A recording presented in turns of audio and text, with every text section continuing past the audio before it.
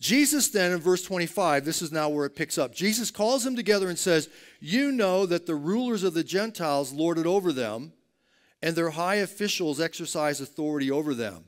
Not so with you.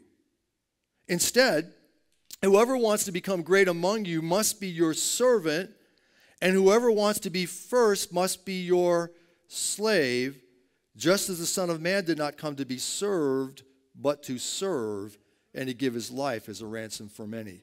You want to go higher, go lower. Oh, if the one thing, one of the things that we we saw through this movement that happened there in Asbury is God's looking for humility. I shared this last week humility, hunger, holiness.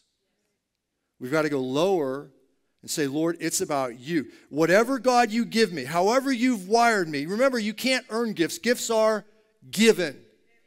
God, whatever anointing you release on my life, however you would use me in this hour, God.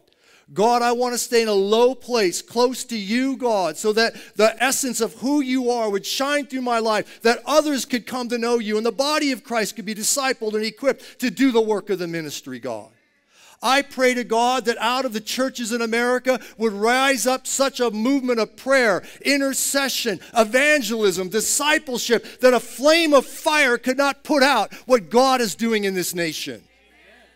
It starts with humility from the top down, but also from the bottom up, because it's an upside down kingdom.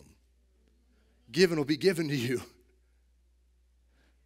Go low to be elevated. Seek in the highways and byways the least, the last, and the lost.